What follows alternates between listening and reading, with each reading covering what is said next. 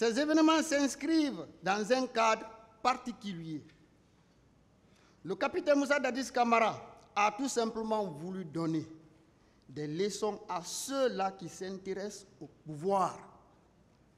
Il faut mater les opposants, endeuiller leur famille, piller leur économie, bref, effrayer, réduire au silence et voire même effacer complètement l'opposition démocratique par ses méthodes machiavéliques.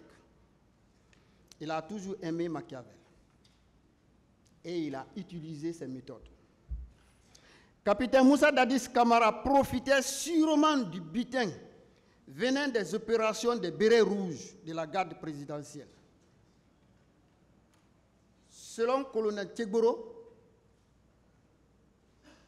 lorsque commandant Toumba, voulant l'intimider, l'a conduit dans une chambre pour lui faire voir toutes sortes de fétiches, un caïman vivant et autres, voulant l'arrêter, voulant arrêter commandant Toumba, le capitaine Moussa Dadis Kamara s'est opposé. Alors, qui profitait de ces crimes? C'est bien capitaine Moussa Dadis Kamara, parce qu'il n'a jamais voulu arrêter tout ce qui créait, selon lui, le désordre.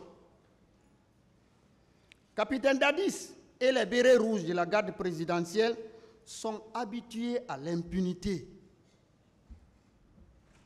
Le capitaine Moussa Dadis Kamara a déclaré qu'il était au pont 8 novembre lors des massacres de janvier et février 2007.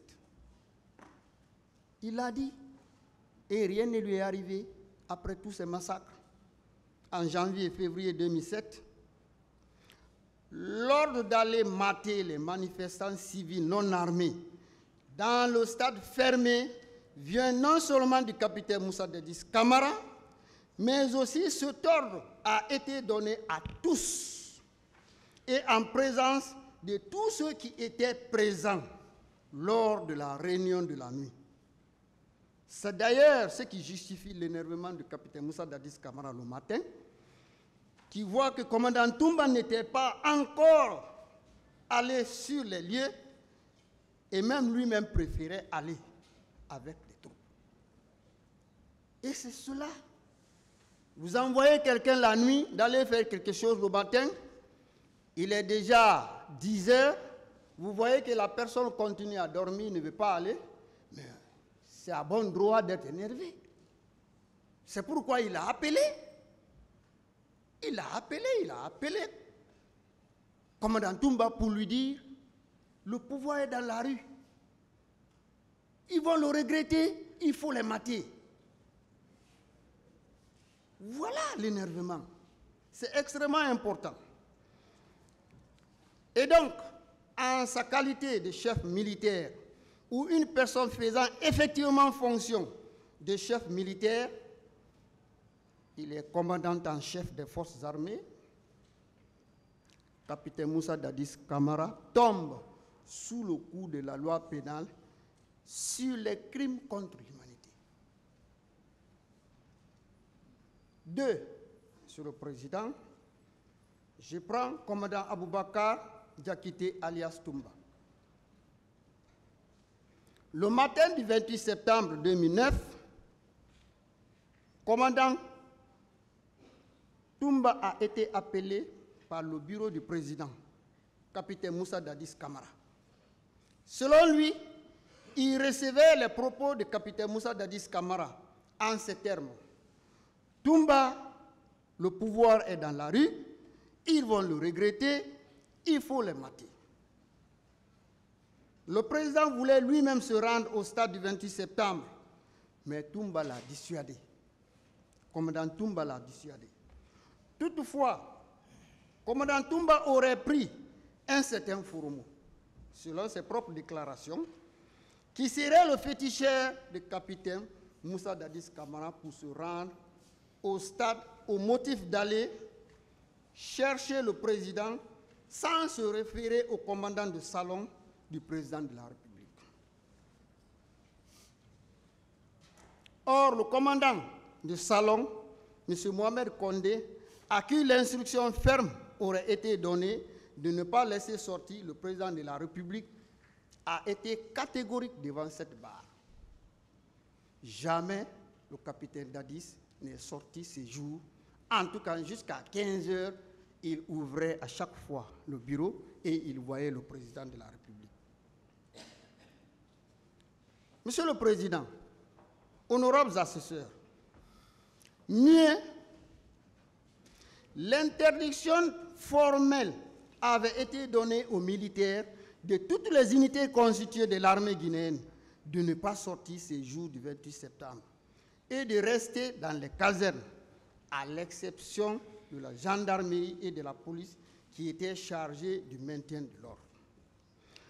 Malgré cette interdiction, Monsieur le Président, les hauts responsables de l'armée, notamment ceux des bérets rouges de la garde présidentielle, ont pris sur eux la responsabilité de mobiliser leurs troupes.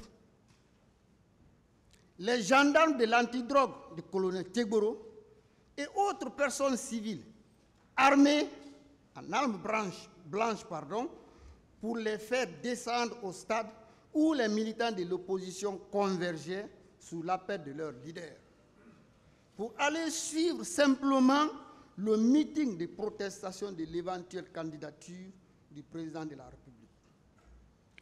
Dans une coordination parfaite, je dis bien, dans une coordination parfaite, capitaine Toumba est arrivé dans son véhicule en compagnie de quatre ou cinq pick-up pour faire leur entrée dans le stade. C'est pendant que les militants de l'opposition, étant tous civils non armés, que les gendarmes écoutaient les meetings, que les gendarmes de services spéciaux, disons les gendarmes de services spéciaux, antidrogue sous les ordres du colonel Tchegoro, ont lancé des gaz lacrymogènes et bastonnaient, arrêtaient et séquestraient, puis torturaient les militants de l'opposition. C'est dans cette fumée, c'est là la coordination, c'est dans cette fumée que commandant Toumba et le groupe de bérets rouges qu'il commandait ont fait irruption dans le stade en tirant à balles réelles et à bout portant sur les militants. Plusieurs personnes ont vu commandant Toumba à la tête des bérets rouges et même en train de tirer, notamment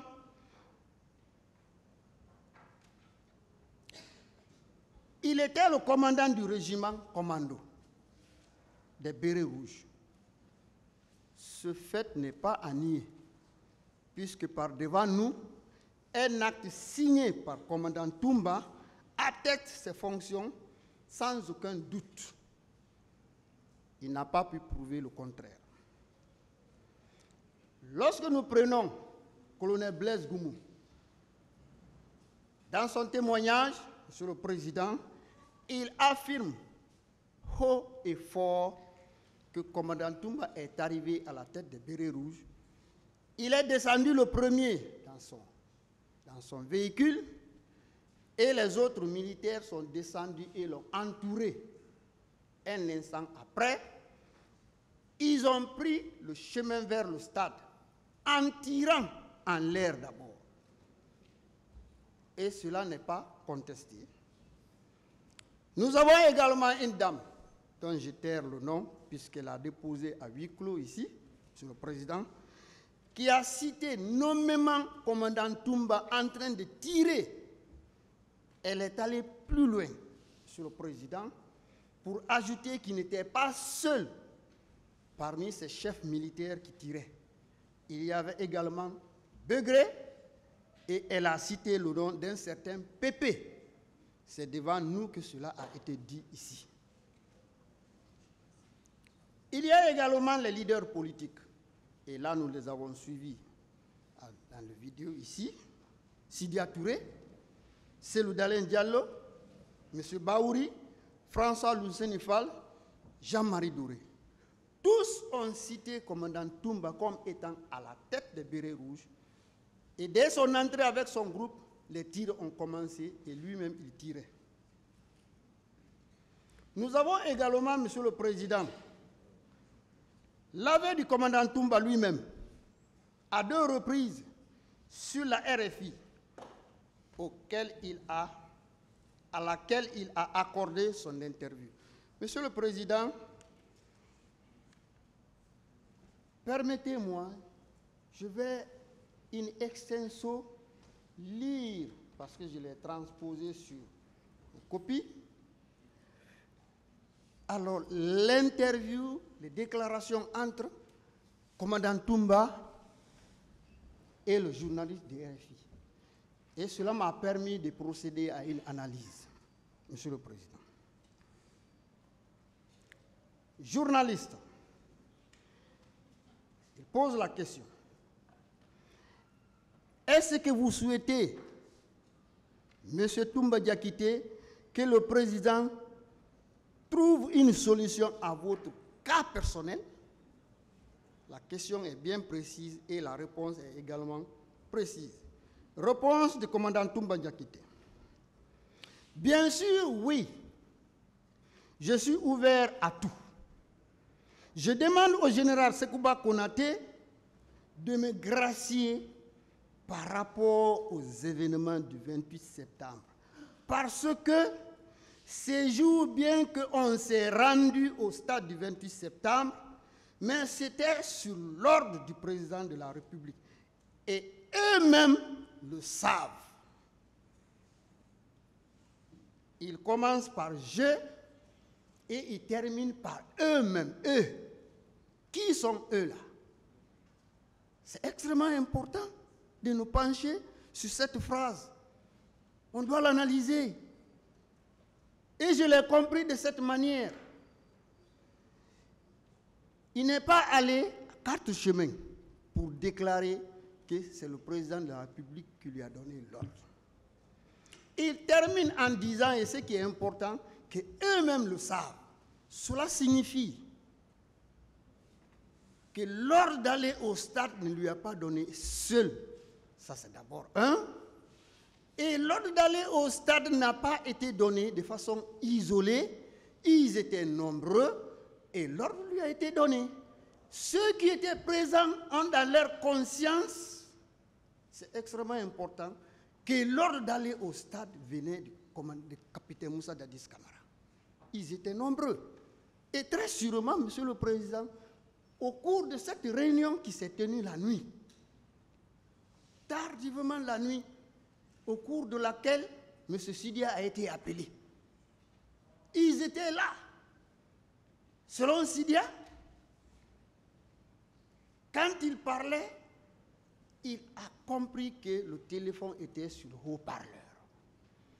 Et quand le téléphone est sur haut-parleur, Monsieur le Président, ceux qui murmurent en bas, on sent. L'ambiance du milieu est connue. On sent quand même qu'il y a des gens autour de la personne avec laquelle je parle. Et c'est pourquoi ils martèlent que eux-mêmes le savent. Voilà le contexte dans lequel l'ordre a été donné. Commandant Toumba ne peut pas nier ça. Et où il a donné cette version? Et quand? C'est pendant qu'il était en fuite, après la tentative d'assassinat du président de la République. Et avant cette tentative d'assassinat, le problème du 28 septembre était avec lui. Ce problème était sur ses épaules. Et partout où il va, cette question revient constamment. Monsieur le Président. Et là où il a donné la réponse, il était seul. Il n'y avait ni contrainte, il n'était ni poursuivi, il était d'ailleurs dans un endroit sûr. Peut-être il croyait que nous étions encore au Moyen Âge. Quand vous finissez de parler, il n'y a pas de traces qui restent. Mais les disques de la RFI enregistrent ce que vous dites. Même le téléphone, le réseau enregistre.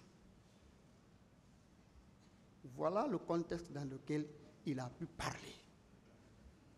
Monsieur le Président, l'autre volet, qui est aussi extrêmement important, c'est lorsque le journaliste lui pose la question. Vous-même, reconnaissez-vous une part de responsabilité dans la commission des crimes qui ont été commis au stade du 28 septembre? Commandant Toumba répond aisément, et c'est dans la même interview, il dit, moi, je ne me reproche pas de rien, parce que c'est l'armée. Nous sommes sous ordre. Ça, c'est clair. Je ne peux en aucun cas de me permettre de prendre tout un groupe de militaires comme ça et aller agir. Français est très propre, bien articulé. La fois dernière, il y a maître Idrissa Traoré qui lui lançait les fleurs, qu'il était très intelligent. Pas plus intellectuel que les autres, mais plus intelligent que les autres. Malheureusement, ici, il tombe. C'est devant la justice. Ça ne peut pas se passer comme ça. Et il va jusqu'à ajouter la dernière phrase. L'armée, c'est la hiérarchie, c'est l'ordre. Monsieur le Président. Quand j'entends capitaine Moussa Dadis Kamara dire Ah, ils sont partis au stage, je ne savais pas. Ah non, il faut le poursuivre. Et puis, Monsieur le Président, c'est juste un montage. C'est lui qui les a envoyés. Et commandant Toumba est très clair. Il dit que lui, il ne peut pas prendre toute une troupe comme ça, militaire, et aller agir. Ce n'est pas possible. L'armée, c'est la hiérarchie. S'il n'avait pas reçu l'ordre, il n'allait jamais oser. Ça, c'est assez clair. On dit, ah, j'ai hérité une armée désorganisée, désorientée, une armée de voyous, de ceci, de cela. Si cette armée était voyou, elle ne pouvait l'être qu'à l'égard du peuple, pas à l'égard de la hiérarchie. Si cette armée est désorganisée, cela ne pouvait être qu'à l'égard du peuple qui est victime, mais pas à l'égard de la hiérarchie. Aucun militaire ne peut sortir des rangs pour aller commettre quoi que ce soit sans que son chef d'unité ne soit informé ou sans que son chef d'unité ne l'envoie. Cela n'est pas possible, Monsieur le Président. Et commandant Toumba est très clair et il est précis. Il était l'aide de camp du président de la République et il était le commandant du régiment. Si c'est lui-même qui s'élève avec une troupe, c'est sûr et certain, il n'y a même pas d'ambiguïté. Comme il a déclaré, il a été envoyé par son chef hiérarchique, qui était le capitaine Moussa Dadis Kamara. Il n'y a rien à discuter ici. Ce qui est écrit est écrit, ce qui est dit est dit. Monsieur le Président, commandant Toumba et colonel Tchegboro disent avoir sauver les leaders. Mais je ris. Je ne comprends pas. Quand ces leaders ont organisé ce meeting, quel danger les guettait? Est-ce qu'il avait été dit qu'il y a une force extérieure qui quitterait, hein, je m'excuse, du Libéria, de la Sierra Leone ou ailleurs, pour venir attaquer ces leaders pour que l'armée guinéenne régulière puisse se lever et venir les sauver. Mais je tombe de nuit quand on me dit qu'ils sont venus sauver les leaders. Mais qui a mis ces leaders en danger? C'est comme quelqu'un est en train de dormir paisiblement, vous venez, vous fermez la porte derrière cette personne et vous mettez le feu. Et vous commencez à crier au feu, venez, on va éteindre le feu. C'est ce qui s'est passé exactement. C'est vous qui les avez mis en danger. Comment vous pouvez venir encore les sauver? Je ne comprends pas. Sans votre présence au stade, sans la présence des hommes du commandant Kigoro au stade, était-il en danger? Ne créez pas de l'alibi. pour dire que vous venez sauver. Les gens que vous avez mis en danger, vous les sauvez encore Je ne vous comprends pas. Je prends une arme tout de suite, je brandis sur vous. Et je dis, je viens vous sauver encore. Qui vous a mis en danger? Mais soyons raisonnables quand même. Je ne peux pas comprendre ça. Et personne ne peut me convaincre pour ça. C'est mon analyse.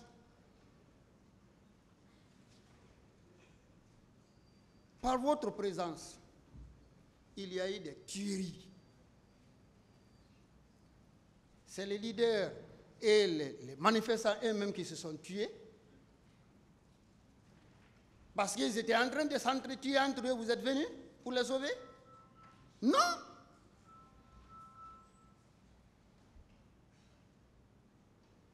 Il y a eu des viols à ciel ouvert.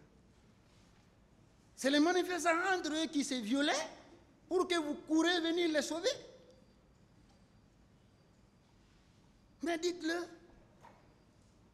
Ils ont été molestés torturés à Kundara et au camp Alpha Yaya Diallo. Ce sont les manifestants entre eux qui se torturaient. C'est entre eux ils se molestaient pour que vous, l'armée, vous venez les, aider à les sauver. On a sauvé les leaders, on les a envoyés à l'hôpital, à ceci, à cela. Mais vous-même, vous avez dit, Marcel a, a, combien de personnes là-bas? Mais Marcel était-il invité là-bas? Capitaine Marcel, vous étiez invité là-bas ces jours-là Les leaders vous ont envoyé une lettre de venir Et vous allez dire, alors on est en train de sauver les gens. Les gens que vous avez sauvés sont sortis en, sang. Et c'est vous qui les avez mis en sang. Dans les côtes cassées. Et tous avaient un signe, un symbole. Chacun a, le leader a eu un coup violent sur la tête. Et au même endroit. C'est Jean-Marie Doré qui a donné ce coup-là à l'autre les uns entre les autres. Mais évitez cette thèse. C'est de l'alibi, ça ne passera pas.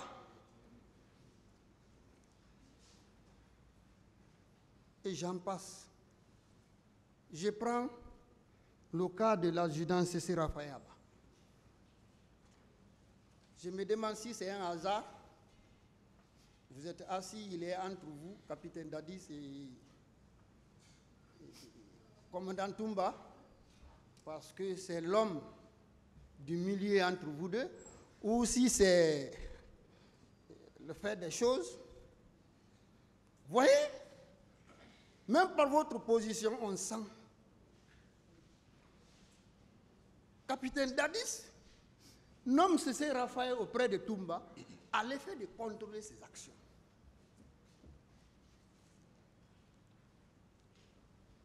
Capitaine Dadis nomme C.C. Raphaël Haba auprès du commandant Toumba à l'effet de contrôler les actions et de rendre compte.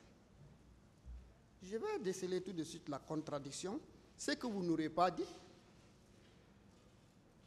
Celui qu'on envoie vous contrôler et celui qui a envoyé quelqu'un vous contrôler, qui est le chef? Est-ce que vous qu'on contrôle et on rend les actions, on rend le compte, on rend compte pardon, des actions que vous faites? Ou c'est celui qui, vous, qui a envoyé quelqu'un qui vous contrôle vous tous? Les gens sont sur mon chantier en train de travailler et j'envoie un contrôleur.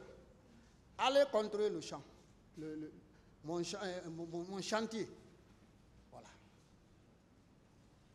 Le jour hein, utile et important où il doit utiliser les ciments et autres blocs, c'est ce jour il doit contrôler la personne pour rendre compte à moi-même qu'il est envoyé. C'est celui qui fait ce travail-là qui donne la permission à celui que j'ai envoyé. Il faut quitter. Entre vous qui doit contrôler et moi qui l'ai envoyé contrôler, qui doit lui donner la permission de quitter? Répondez. Qui doit donner la permission à celui que moi j'ai envoyé contrôler mon chantier à le faire de quitter ce jour-là et d'aller faire ses besoins? C'est vous qui êtes en train d'exécuter mon chantier ou c'est moi qui l'ai envoyé? Parce que vous, vous l'envoyez, vous lui donnez la permission d'aller, vous allez voler derrière. En principe, s'il doit quitter, il doit d'abord venir me voir. C'est moi qui dois signer son ordre de mission. Donc, dans votre cas, c'est juste un montage. C'est assez clair. Il fallait partir chez capitaine Dadis pour dire ah, Vous m'avez envoyé contrôler commandant Toumba. Ces mouvements, ces actions, à l'effet de vous rendre compte. Aujourd'hui, j'ai des problèmes, je ne peux pas être là-bas. Veuillez remplacer quelqu'un par moi. Malheureusement, c'est le cas de chez nous. La confiance n'existe plus. Ce jour, vous devriez sortir et vous dites que vous donnez, vous avez donné la permission à celui qui doit vous contrôler. Monsieur le Président, ce n'est qu'un montage.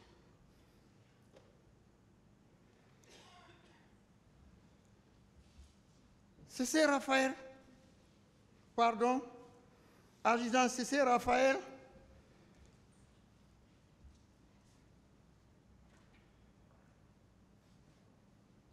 Voilà.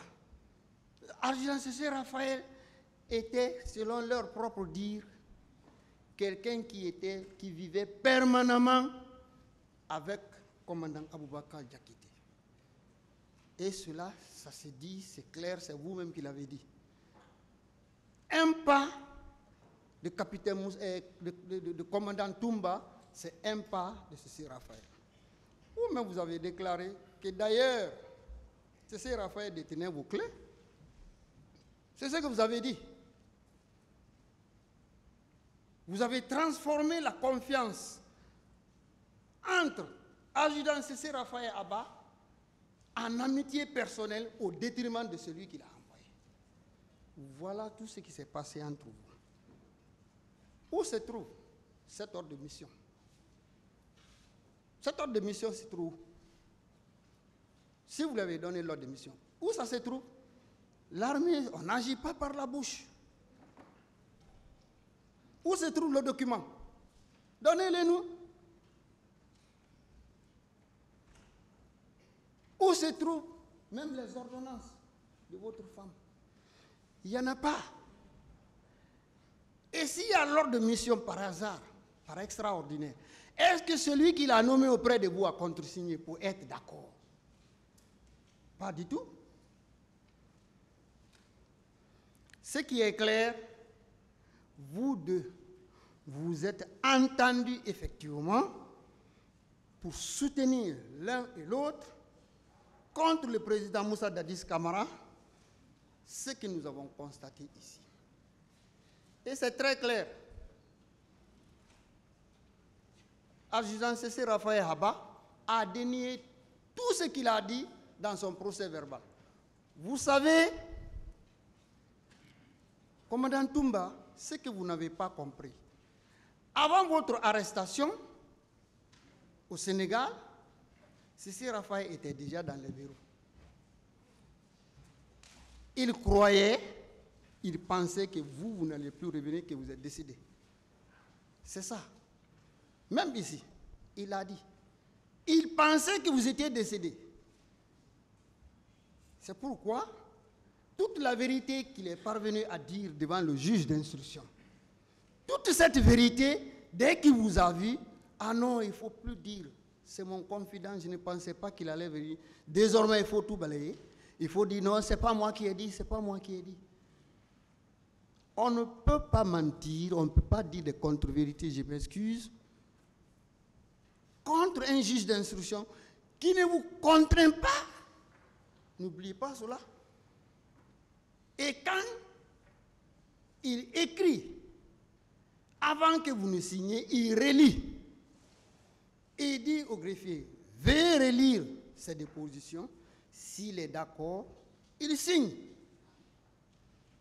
pas devant ici, vous allez dire, ah non, non, non, il y a un passage, j'ai signé, je suis d'accord, l'autre, je ne suis pas d'accord. Ça ne passe pas ici.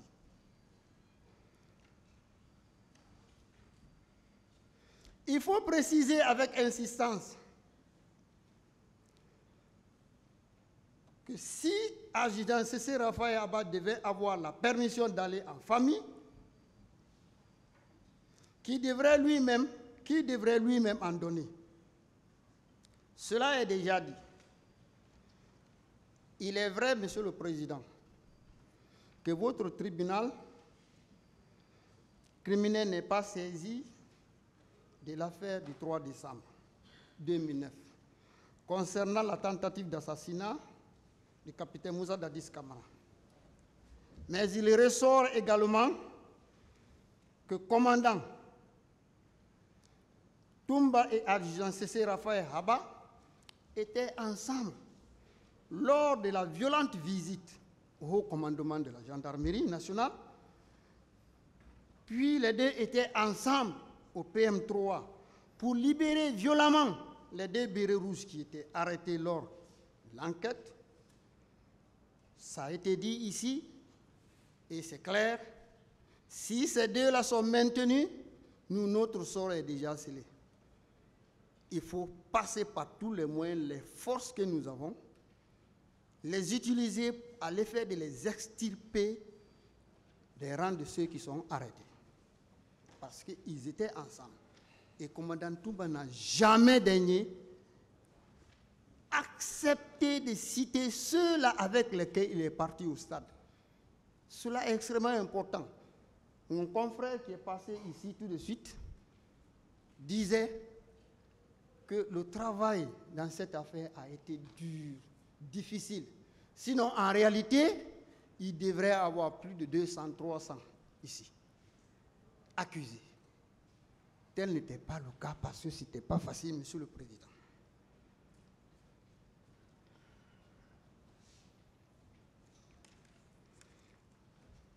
Monsieur le Président, comme je le disais tantôt, vous n'êtes pas saisi de cette affaire, mais c'est lui, c'est Raphaël, qui détenait l'arme qui a tiré sur le capitaine Dadis.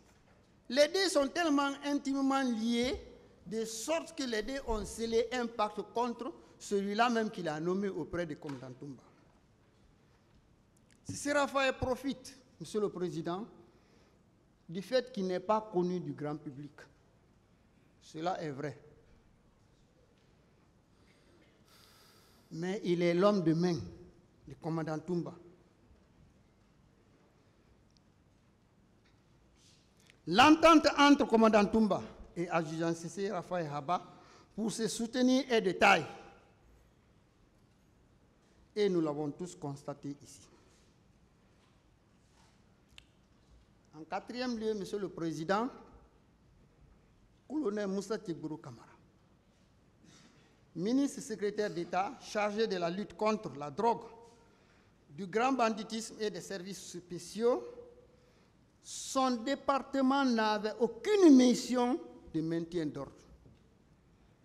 Et ses gendarmes portaient des bodys noirs.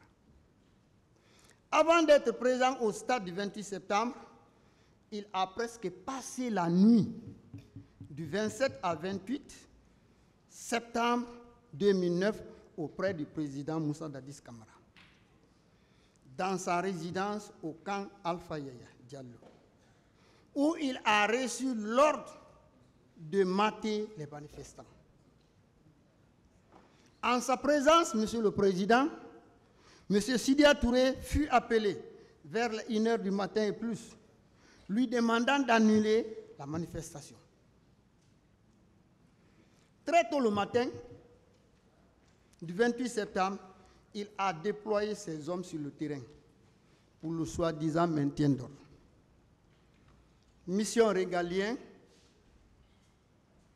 attribuée à la gendarmerie nationale et à la police. Colonel Tchegboro lui-même et ses gendarmes des services spéciaux se sont ralliés au stade avec plusieurs pick-up. Quelque temps après leur arrivée, colonel Tchegboro engage une sorte de sensibilisation couronnée de menaces dans le sens de faire annuler le meeting. Et c'est ce qui nous faisait croire ici. Monsieur le Président, ah, je suis venu sensibiliser, il ne faut pas tenir aujourd'hui, c'est un autre jour on va jusqu'à dire c'est un jour décrété, hein, férié sur mes pays. Mais il avait d'autres intentions. Et il a exprimé. Constatant qu'un groupe n'obtempérait pas euh, ses ordres, il a ordonné à ses hommes d'agir. Ceux-ci lançaient sur eux des gaz lacrymogènes, tiraient à balles réelles, tuant deux manifestants très tôt le matin. De là, colonel Moussa Tchegourou Kamara se dirige vers les leaders politiques avec lesquels il n'y a pas eu d'entente. La situation devient compliquée pour colonel Moussa Tchegourou Kamara lorsque les milliers de militants de l'opposition, civils non armés, ont pris d'assaut l'esplanade du stade du 28 septembre. Le grand portail du stade a été ouvert devant colonel Tigboro. Sous les applaudissements d'ailleurs de la foule, d'aucuns pensaient même que c'était colonel Tigboro qui a ordonné l'ouverture. D'autres ont pensé que celui qui détenait les clés était venu ouvrir. Et d'autres même disaient que la, porte a été défoncée. Colonel Moussa Tiegoro Kamara est aussi entré dans le stade avec deux de ses subordonnés. Et ça, c'est extrêmement important de le marquer. Il s'agissait du colonel Blaise Goumou et son adjudant, un autre adjudant, le gendarme de services spéciaux. Donc, colonel Tchegoro ne veut pas donner le, le nom ou son identité. Il le sait. Il était entouré de deux personnes, dont colonel Blaise Goumou. C'est avec eux qu'il est entré dans le stade. Les leaders dont colonel Tchegboro parle d'être protégés par lui ont été victimes de graves blessures par les bérets rouges et les gendarmes de Tchegboro sur la pelouse, alors que ceux-ci étaient à la tribune officielle en train de faire leur discours en toute sécurité. Je le disais tantôt, que ces deux brandissent l'expression venir sauver les leaders.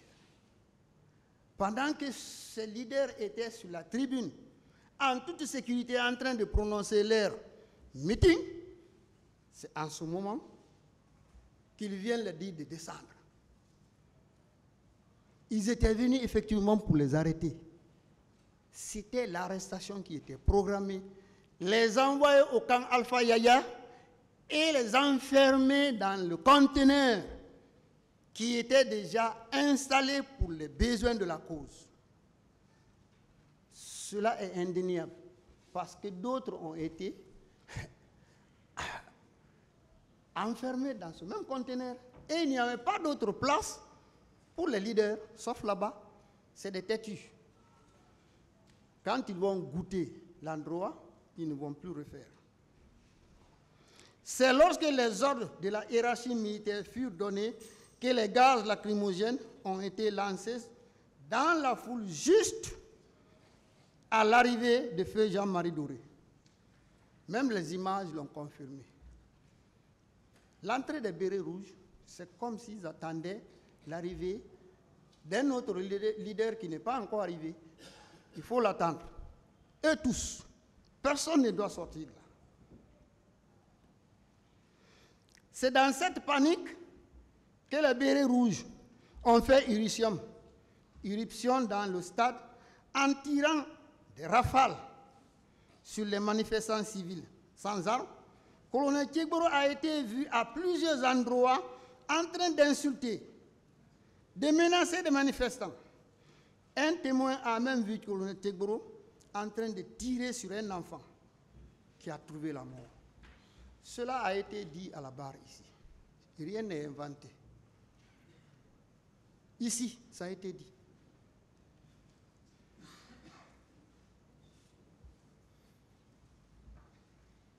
En présence et sous les ordres, les gendarmes de Tchegoro, commandant de colonel Tchegoro, procédèrent aux arrestations arbitraires, aux tortures avant d'être embarqué de force dans les pick-up des services spéciaux et conduit au camp militaire Alpha Yaya Diallo, siège des services spéciaux pour enfermer, pour les enfermer dans un conteneur installé à ce niveau.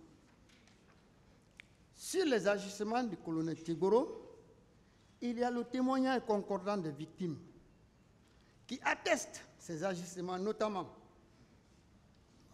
Je vais taire parce qu'il y en a qui ont déposé à l'anonymat ici, disons à huis clos. Il y a un qui dit, Tchegoro parlait avec violence. Si vous entrez dans le stade, vous prendrez les conséquences. À l'esplanade, les gens de Tchegoro lançaient des gaz et tiraient sur deux jeunes qui furent tués derrière nous.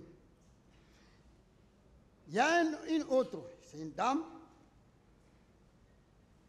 Si vous manifestez, nous allons vous mater. Le terme mater revient. Cette fois dans la bouche du colonel Tchegoro. Donc quand je disais quelque part que l'interview du commandant Toumba a été est réelle, et en disant qu'eux-mêmes le savent, c'est qu'ils sont là. Ils ont dans leur conscience de ce qui s'est passé. Et c'est devant eux que capitaine Dadis a donné l'ordre. Et il a effectivement utilisé le mot maté. C'est pourquoi, et commandant Toumba et colonel Tchegboro utilisent le même mot en des milieux différents. Il y a une autre qui dit Colonel Tchegboro et ses hommes étaient sur l'esplanade. J'en passe. Donc, colonel Tchegboro, l'homme de la situation, l'homme qui, devrait coordonner ces jours, tous ces événements, au stade et à l'alentour, tombe bel et bien dans le coup de la loi et il doit en subir les conséquences. 5. Marcel Guilabougi. Avec lui, je ne vais même pas tarder. Parce que pour lui, la situation est tellement claire. Il a comparu par deux fois devant le tribunal criminel. Il nie d'abord en bloc pour la première fois d'être allé au stade du 28 septembre, le jour de la manifestation, au motif qu'il avait fait un accident qu'il était malade, alité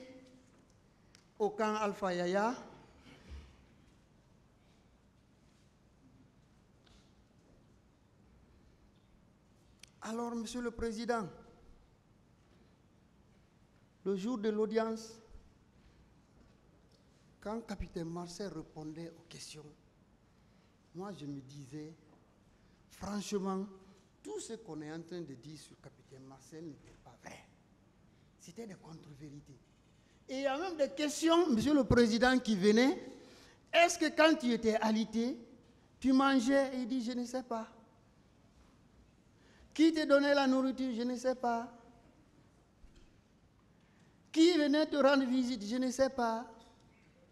Mais monsieur le président, je me suis dit, cet accident avait effectivement dérangé le cerveau. Parce que capitaine Marcel ne se souvient même pas ou ne se rappelle même pas de ce qui lui est arrivé quand il était alité. Sincèrement, je me disais, laissons ce monsieur-là tranquille, lui n'était pas là-bas.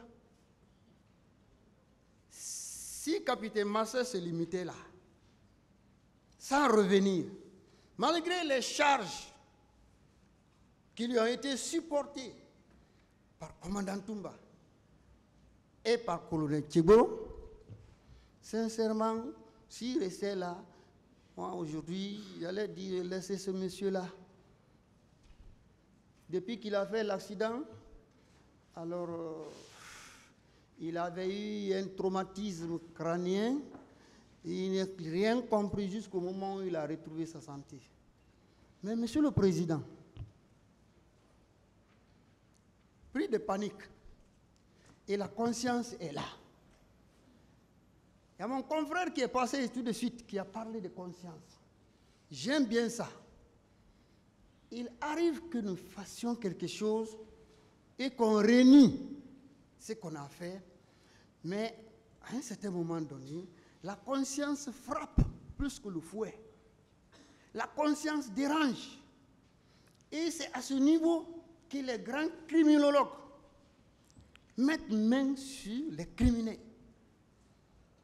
Il vient une première fois chez vous, il vous salue, il regarde votre regard, il, se retourne. Il revient une deuxième fois, cette fois-ci, ça devient dérangeant. Une troisième fois, les yeux qui étaient blancs commencent à être rouges. Et maintenant, vous n'êtes plus tranquille. Et on a compris dans le box des accusés que capitaine Marcel n'était plus tranquille. Il y a quelque chose qui manque. Il se couche, il se réveille la nuit dans un cauchemar indescriptible. Il était au stade. Il a tué, il a frappé, il a torturé, il a violé, il a fait tout. Mais aujourd'hui, il s'est dit, je n'ai rien fait. Mais ça ne va pas. Il faut se libérer. Il faut se libérer. Dis la vérité. Tant que tu ne dis pas la vérité, ce n'est pas bien. Je salue également, comme on le dit, les hommes de Dieu qui sont à la maison centrale, qui vous frappent le cerveau, qui, qui, travaillent sur votre cerveau jusqu'à ce que vous reconnaissiez ce que vous avez fait. Et c'est là la, la libération, Monsieur le Président.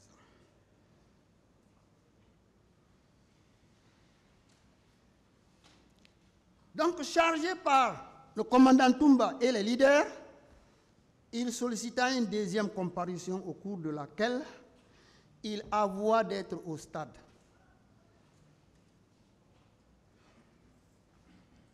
En disant qu'il n'a rien fait de mal, encore il s'enfonce davantage. Toutefois, il est reconnu d'être parmi ceux qui ont tiré à bout portant en rafale et sur les manifestants au stade. Il est celui qui a assommé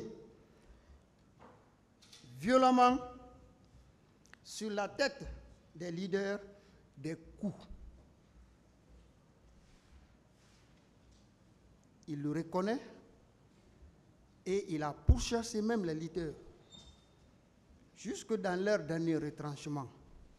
Quelqu'un qui va à l'hôpital et vous partez menacé de sauter l'hôpital ou la clinique au motif que ces personnes ne doivent pas entrer là. Il y a quoi à dire ce qui se passe derrière. Monsieur le Président, je me rappelle bien à cette deuxième comparution, j'ai constaté que vous n'êtes même pas fatigué de lui poser des questions.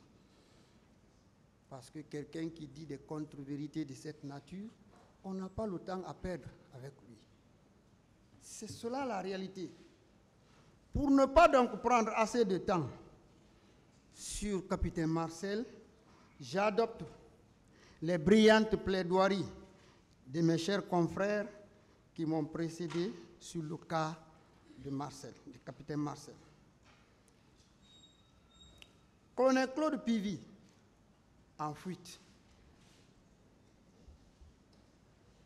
Celui-là qui était perdu ce jour des radars. Personne ne pouvait imaginer qu'il était là. Oui. Vous étiez même amené, j'espère bien que c'était le parquet, lorsque Colonel Pivi a dit qu'il était à Koya en train de traquer des bandits, etc. Personne ne pouvait imaginer, on était tous bouche. Parce qu'on ne savait pas qu'est-ce qu'il fallait mettre à sa charge. Mais Monsieur le Président, il y a aussi des satellites professionnels. Il a fallu donc le professionnalisme des journalistes de France 24 pour le repérer et le voir donner des ordres à Bomboli à ces hommes qui poignardaient et qui égorgeaient les jeunes de cette localité, sans compter les pillages des biens qu'il a organisés et dirigés dans les quartiers Monsieur le Président, pour que les satellites de France 24 le repèrent, en tout cas, il y a un jeune qui a comparé ici. Quand ce jeune a dit, lorsqu'on m'a arrêté à Amdalay, on m'a mis dans un pick-up, on m'a envoyé à l'esplanade du, hein, du, du, du 28 septembre, on m'a mis dans un pick-up où il y avait colonel, Pivi. Il était dedans. On a dit, mais comment? Ces jours, il a fallu plusieurs interrogatoires. Lorsque monsieur le représentant du ministère public, je dis bien que j'aime beaucoup le mot, représentant du ministère public s'est levé bonnement, très doucement, très calmement pour aller dans son bureau. Il est revenu avec un ordinateur. Il a zoomé l'image. Et nous tous, Monsieur le Président, ces jours, chacun a observé un calme de cimetière. Un calme de cimetière. On l'a vu en chair et en os. Il était arrêté à côté de ce monsieur, de ce béret rouge de la garde présidentielle qui poignardait le jeune, qui le tirait à, terre comme on, si on a tué un gibier, on ne peut pas l'emporter, il faut le tirer. Voilà, il faut le tirer à terre. C'est à partir du moment, alors la peur s'est installée. Et tout ce qui s'est passé maintenant jusqu'à ce jour, on le sait. Au départ, il était le premier à sortir. Maintenant, il a pris la fuite. Colonel Blaise Goumou, constamment à Kalea. Oui, pour aller instruire et former les nouvelles recrues. Ces hommes qui étaient préparés, comme l'ont dit mes prédécesseurs, préparés à l'avance pour faire du stade du 28 septembre un jour sanglant. Il fallait les préparer. N'ayant pas encore atteint le niveau de portée, les tenues et les armes, les fusils, ils ont été envoyés au camp, préparés, entraînés pour aller effectivement perpétrer ces crimes, ces massacres. Et je vais vous dire, Monsieur le Président, ce groupe et les bérets rouges, commandés par commandant Toumba, ont fait pire. C'est eux. Quand on parle de massacre, des crimes crapuleux, des crimes odieux, inimaginables, on dirait on était en présence des belligérants. Ce sont ces crimes qui ont été commis. Monsieur le Président,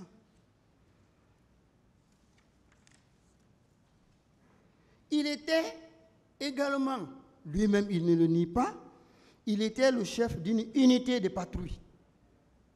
D'ailleurs, il était entré au stade avec son supérieur hiérarchique qui est colonel Tiguru. C'est ça la vérité. Elle est têtue. Quand elle est là, il faut la dire.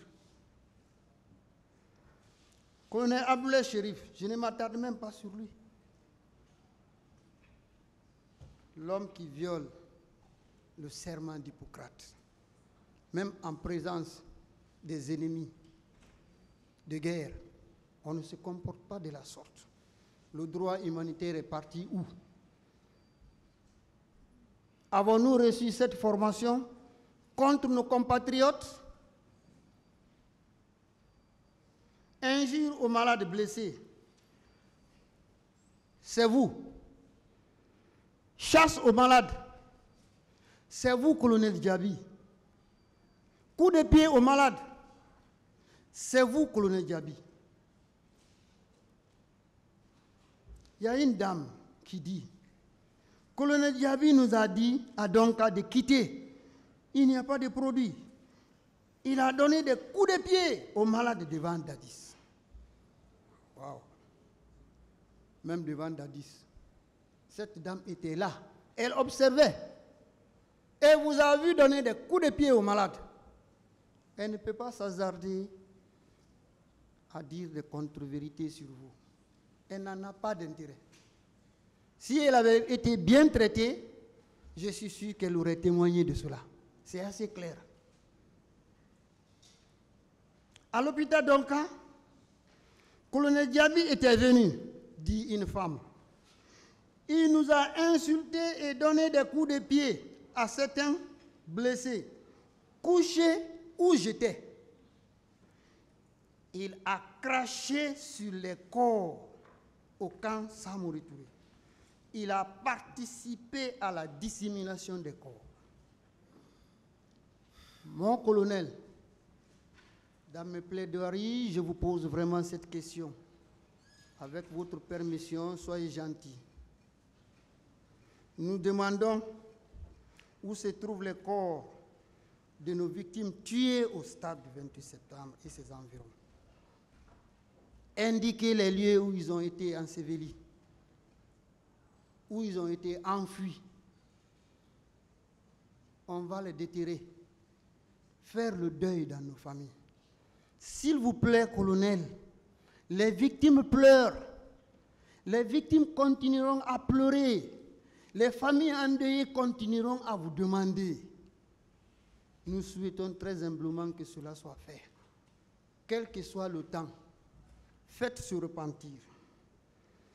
Sergent Paul Guilavogui, je dirais avec toutes mes excuses, l'expert en torture, connu sous le nom de Sergent Paul, reste. Et voilà tout ce que les victimes de torture ont retenu de vous. Sergent Paul, il est l'heure. Voilà, donnez le café. Et vous savez ce que vous devez faire. Et après le café, entassez-les. Vous êtes le premier. Celui qui est en haut reçoit des coups. Sergent Paul, ça, c'est contre vos compatriotes que vous avez fait cela. Et ils n'ont rien fait du mal. Je suis sûr que vous, vous avez participé à des guerres. C'est vrai. Je laisse le soin à mes brillants confrères qui ont largement parlé de vous. En dixième position, Ibrahima Kalonzo, Ibrahima, Ibrahima Kamaradi Kalonzo. Il est dénoncé à la tête, il est dénoncé d'être à la tête d'une unité qui était au stade du 28 septembre, ce jour de la manifestation. Il tente de se soustraire des poursuites en disant d'être en garde à vue, ce qui n'a jamais été prouvé, ce qui n'a jamais été prouvé. Ce jour, vous n'étiez plus en garde à vue. Et le témoin est venu ici cité par vous-même. Ce témoin vient dire qu'il n'en sait rien. Pour lui d'ailleurs, vous n'étiez plus là-bas. Et on va retenir quoi? Ce que vous avez dit ou ceux-là qui notent dans le document, dans les archives. Vous étiez déjà sorti et vous étiez au stade. Un témoin vous a cité. C'est la contre-vérité? Un témoin ne vous a pas cité, il vous connaît.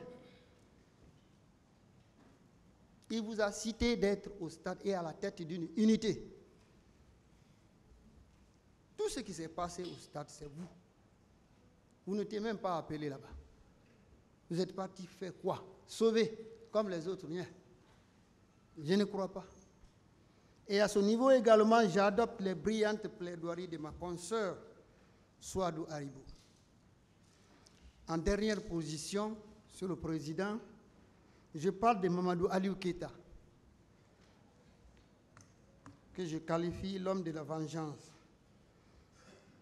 Mais sachez que ce n'est pas en se vengeant que vous allez avoir la main de sa sœur en mariage, de sa tante en mariage. Ce n'est pas ça. Il s'agit de la courtiser. C'est très important. vous vengez sur elle au stade, au motif que c'est elle qui est la cause de l'échec de votre mariage. Ce n'est pas cela. Vous ne devriez pas faire ça. C'est votre compatriote. Et l'amour, ce n'est pas obligatoire. Les fiançailles ne rendent pas obligatoire le mariage. C'est ça la vérité. C'est le droit qui le dit. Monsieur le Président, je parle d'un cas particulier. Ce cas particulier, Monsieur le Président, il s'agit du cas de viol. Le viol qui attire franchement mon attention. En pays de guerre, Monsieur le Président, le viol est utilisé comme une arme redoutable. Oui, une arme redoutable, compte tenu de ses conséquences dévastatrices. Monsieur le Président, le viol dévaste plus qu'un obus qu'on a lancé. C'est plus que ça. Monsieur le Président, elle détruit la dignité et l'honneur de la femme.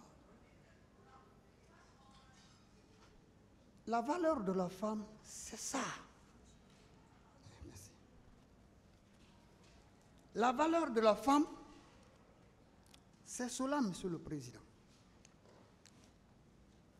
Excusez-moi.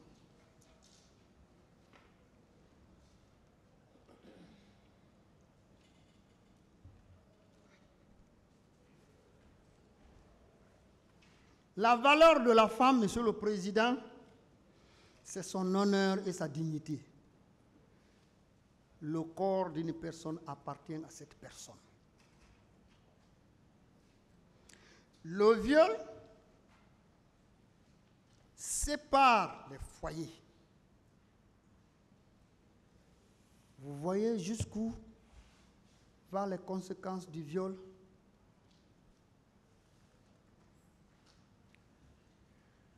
Le viol sépare la mère de ses enfants. Si vous entendez ici, Monsieur le Président, que dans les pays de guerre, avec le viol, la famille est disloquée, c'est ça la cause. Le viol détruit la vie biologique de la femme. Monsieur le Président, une personne viole. Une deuxième personne viole la même femme. Une troisième personne viole la même femme. Une quatrième personne. Monsieur le Président, c'est hors de commun. C'est inimaginable. Cette femme, elle va beau suivre les soins et ne va plus retrouver sa vie biologique normale. C'est extrêmement important, Monsieur le Président. Sans compter, Monsieur le Président, les grossesses non désireuses et les maladies sexuellement transmissibles, y compris le VIH-Sida. Monsieur le Président, alors, ça c'est un pays de guerre. Transposons donc ce système de viol en République de Guinée. Là où il n'y a ni violence, vous n'avez pas de belligérants. Vous avez affaire aux civils non armés. Les civils qui viennent tout simplement écouter le meeting et se retourner à la maison. Surpris dans leur mouvement. Et qu'on pratique le même système c'est inhumain. C'est vraiment inhumain. C'est incroyable. C'est inadmissible. Et Monsieur le Président, si cela reste impuni, croyez-moi, la même chose se répétera autant de fois.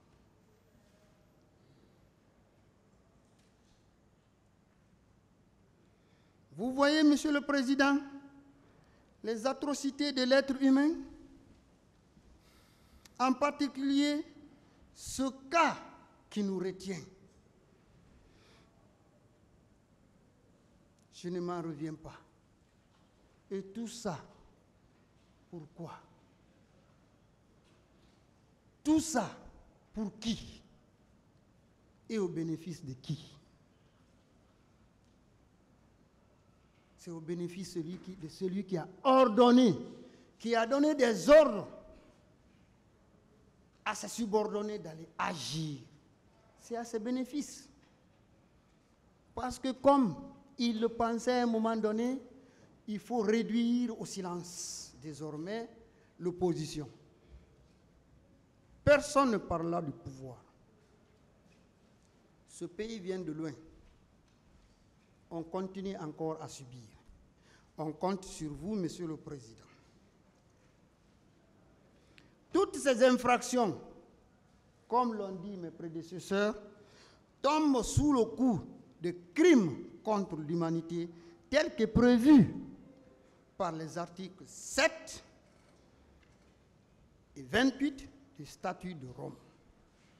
Je n'entrerai pas euh, dans les détails, mes confrères en ont largement et brillamment parlé. Je termine par les préjudices causés à nos concitoyens. Ces préjudices sont énormes, Monsieur le Président, et variés. Et les séquelles, pour certaines victimes, Monsieur le Président, seront à vie. Oui, les séquelles seront à vie. Et d'autres vont perdurer avant d'être cicatrisées. Quand on prend par exemple les paralysies, il y en a ici dont les membres sont paralysés, qui ne peuvent plus les faire mouvoir. Je vois un jeune universitaire terminer ses études. Il écrit avec la main droite. Son doigt avec lequel il doit tenir le stylo et il avait l'habitude de tenir de stylo, est, complètement déformé. Cette déformation, depuis combien d'années? 14 ans plus. Il vit avec cette paralysie. Je vois d'autres qui sont là, qui ne marchent plus correctement, qui ont besoin de soins. Jusqu'à ce jour, ceci reste sans soins.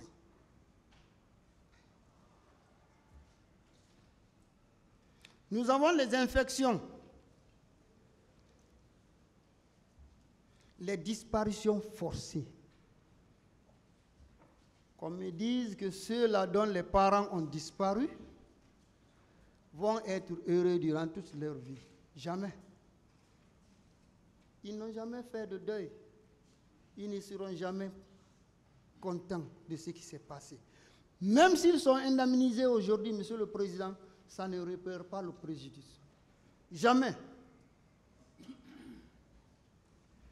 Nous avons les membres qui sont décédés, les membres de famille qui sont décédés. Qu'on nous dise que ces familles connaîtront un lendemain, un lendemain heureux. Non, je ne crois pas. Parce que ces personnes qui ont été tuées ne reviendront plus. Pour tous ces préjudices, Monsieur le Président, les victimes sollicitent qu'il vous plaise de condamner les accusés au paiement des sommes déjà demandées dans les plaidoiries de maître DSBA. Connaissant l'état des accusés, Monsieur le Président, qu'il plaise au tribunal d'engager l'État de garantir le paiement de ces sommes. Pour plusieurs raisons, Monsieur le Président. Et c'est extrêmement important. Oui, aucun d'eux ne peut payer de milliards là où ils sont. Et pourquoi l'État doit garantir? Ça, c'est extrêmement important. De l'autre côté, vous rigolez, nous sommes au sérieux. Mais c'est normal. C'est normal. L'obligation de l'État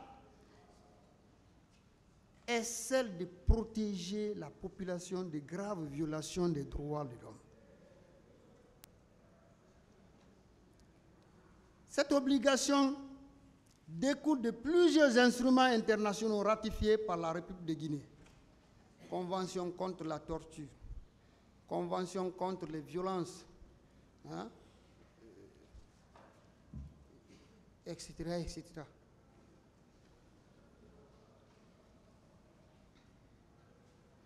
Les forces de sécurité ont montré qu'elles étaient incapables de protéger la population. Pourtant, ces forces de sécurité viennent du rang des civils. Et leur objectif est de protéger ces mêmes civils. Ils ne l'ont pas fait. Ces forces de sécurité se sont comportées en autres. Il y a aussi que toutes ces personnes sont des préposés de l'État guinéen qui étaient aux affaires. Ces personnes-là étaient aux affaires. C'est eux qui détenaient le pouvoir. Ils étaient dotés de l'uniforme de l'armée guinéenne, des armes et des munitions de l'État guinéen, des engins roulants et étaient logés dans les immeubles de l'État guinéen. Ils étaient payés par l'argent du contribuable guinéen. Ce sont donc des préposés. On n'y peut rien si l'État ne garantit pas. Monsieur le Président, lorsque vous le faites, vous allez rendre un bon droit et vous allez rendre justice à toutes ces victimes. Je vous remercie, Monsieur le Président.